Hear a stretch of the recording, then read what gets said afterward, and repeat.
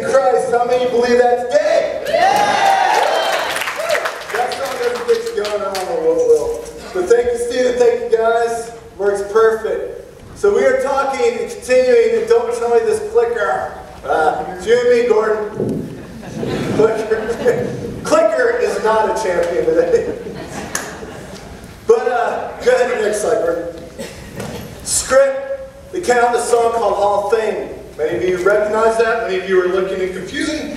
Um, why are we doing this? Because you are a champion in Christ. You have a destiny. Last week we talked about who you are in Christ. That you're not a mistake. You are a masterpiece. Today we're going to talk about what you can do as being a masterpiece of God. And when you talk about this song, this will be my cue to you.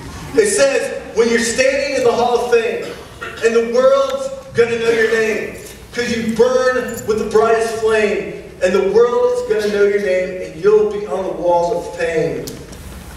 This is a song that speaks of destiny.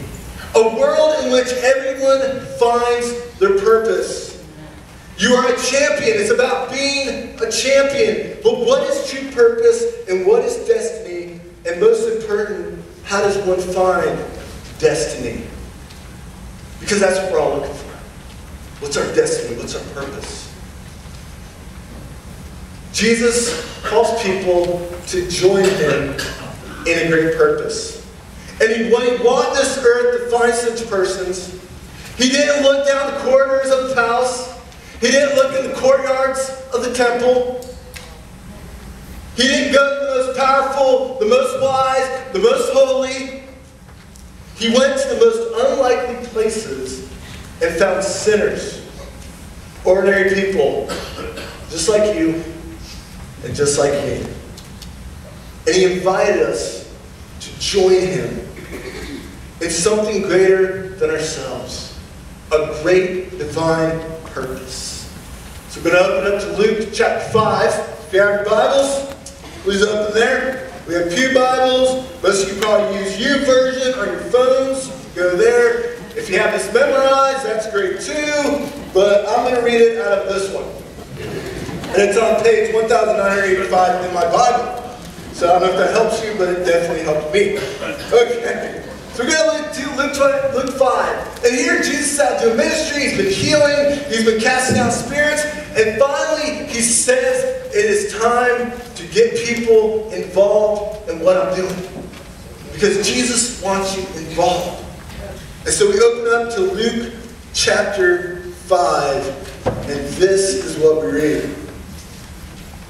One day, as Jesus was standing by the lake of Gennesaret, the people were crowding around him and listening to the Word of God. Because that's where you got to start. Get started God's Word. That's where God gives you direction. It's where faith is built. Faith comes by hearing the message, the message of Christ. That's what Paul tells us in Romans. So it starts with the Word of God. He saw at the water's edge two boats left there by the fishermen who were washing their nets. He got into one of the boats and the line to Simon, and he asked him to put out a little bit further on the shore. Then he sat down and he taught the people from the boat. When he had finished speaking, he said to Simon, Put out into deeper water and let down your nets for the catch. Simon answered, Master, we've worked all night and haven't caught a thing. But because you say so, I will let down my nets. Now here's your first point. Jesus wants us to join him in what he's doing. He doesn't want to leave you out. He wants to invite you to the party. You're not being picked last in line or not being picked at all. You're front and center saying, I want you on my team. I need you on my team. You have a purpose. You have a destiny. You are part of Team Jesus. And that's the team that wins, right? Because I've read the end of the book and Jesus wins. So you're on the winning team. Amen? It's a good thing. You don't want to be a losing team. You want to be a winning team. Jesus puts you on the winning team. He wins. So let's continue our story. So Luke 5. Six. When they had done so, they caught such a large number of fish that their nets began to break. Because Jesus said, Hey, Simon, let me borrow your boat. Let's go out fishing. And the first thing that Simon does is he comes up with an excuse. He says, I've been there. I've done that. Lord, I've been out all night, and I promise you there's no fish out there. I'm sure Jesus is like, but you haven't taken me with you yet. Let me show you what I can do. But how many times do we do this? Oh, we've never done that before, or we tried that and it didn't work before. And we come up with excuse and excuse. If you always do the same thing that you always done, you're always going to get what you always got. So it's time to put those excuses and those limitations behind us because Jesus looks beyond our limitations. He looks beyond our excuses.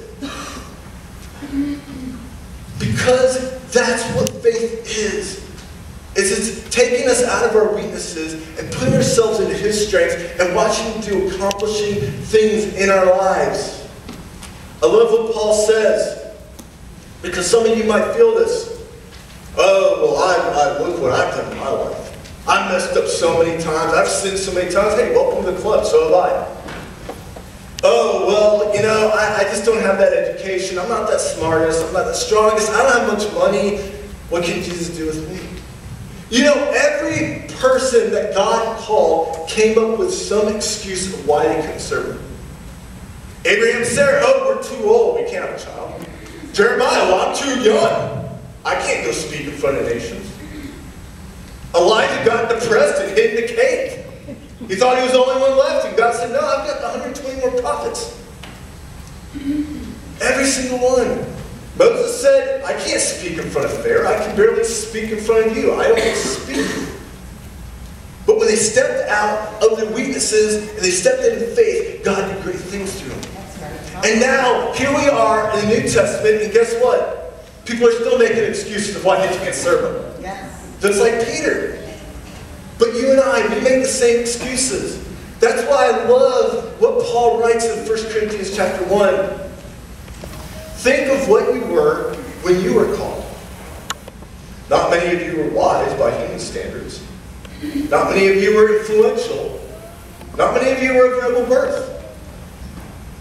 But God chose the foolish things in other words, but God chose you despite those weaknesses and those limitations. And why did he do this? He chose this to shame the wise. God chose the weak things. I'm a weak thing. I'm always a weak thing.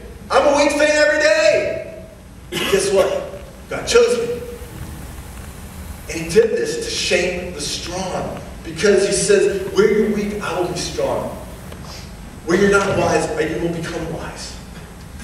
And he chose the lowly things. That's you and me. So that no one can boast before him because he wants to show his strength and his power through you. And if you can do it all your strength, all your power, if you have all wisdom and knowledge, then why would you need God? It's called faith. The reason why we're not all knowing and why we're not all powerful and why we're not all rich is because if we were those things, we wouldn't need faith. There'd be nothing to step out into. We wouldn't need God. But when you step out in faith with God, God can do a greater purpose in your life. And that's what Peter and these guys are starting to see. God chose you. So be students. Be teachers. Be politicians, be preachers, be believers, be leaders, be astronauts, be champions, be truth seekers. What are they saying there? It's be world changers. Yes, yes. You have the power inside of you. Don't let anybody tell you that you can't reach these things. With God's help, you can do all things. Yes.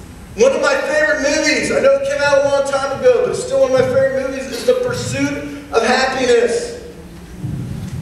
And in this movie, you have Will Smith's boy, and uh, I guess he's playing Chris Gardner, right? Chris Gardner and his child, and they're playing basketball.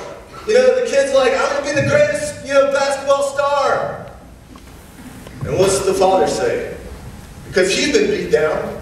Because he's been torn down. Because he hasn't reached his dream yet. He says, no, you're not. You can't do that. And then all of a sudden, it just changes. And he realized what he said to his kids, he just dashed his dreams to the ground. And so he says this.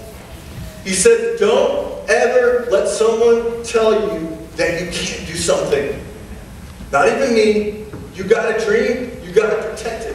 When people can't do something themselves, they're going to tell you, you can't do it. You want something, go get it. Period. I know that's not the Bible, but it should be. the gospel according to Will Smith, right? okay, Lord, don't strike me. Don't strike me. but it's so true. There's a story in the Bible that I love. It's in Acts. And what happens is Peter and John, they, they see this paralytical beggar man who can't walk. And the guy asks, well, can you give me some money? And they said, we don't have any money. But what we do have is, in the name of Jesus of Nazareth, get up and walk. And the guy jumps to his feet and starts walking around. And Everybody's like, oh my goodness, look what happened. It's a miracle. And something happens. The religious leaders, the ones that say you can't do that, religion comes in and says, no, that's against what we're about.